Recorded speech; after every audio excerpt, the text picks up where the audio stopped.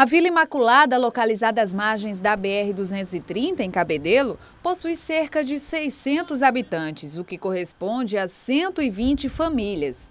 Pessoas que, na maioria dos casos, vivem de empregos temporários, como a pesca e pequenos serviços no porto da cidade. Moradores que, no fim de semana, precisam sair do município para procurar lazer com os filhos. Em Cabedelo não existe o turismo dentro de Cabedelo. Cabedelo ele está esquecido.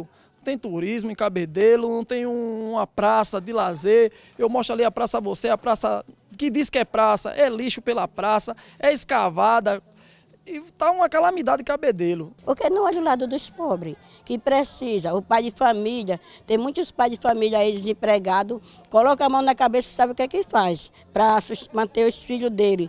Tem pai de família aí até com filho de dois meses, três meses, sem trabalho.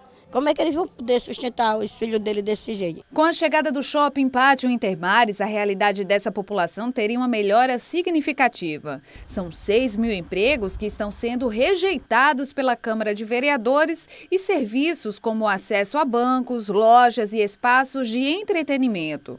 Tudo acomodado no ambiente de 95 mil metros e com segurança para os visitantes. Dona Olindina tem 74 anos e há 60 vive em Cabedelo. Com toda a experiência acumulada ao longo do tempo, ela acredita que o poder público está esquecendo a verdadeira missão de um gestor. Quem tem sua barriga cheia não se lembra quem está com fome, né?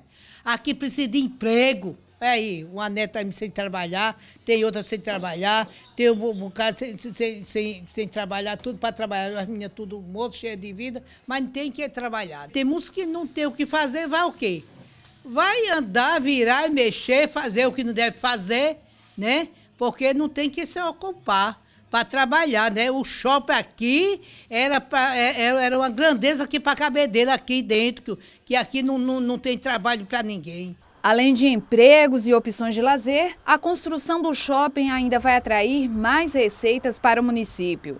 Cláudia acredita que a vida da população pode melhorar, pois todo o dinheiro gasto iria voltar em benefício dos próprios moradores. O capitão de giro de renda para a cidade de Cabedelo ia crescer, porque a, cidade, a Cabedelo é uma segunda cidade de renda de, de, de precário, de, de comércio e de dinheiro que entra para Cabedelo, né? E a arrecadação ia ficar por aqui mesmo? Ia ficar por aqui mesmo. Pobre é o rico que diz que a gente somos pobres. Pobres são eles de consciência.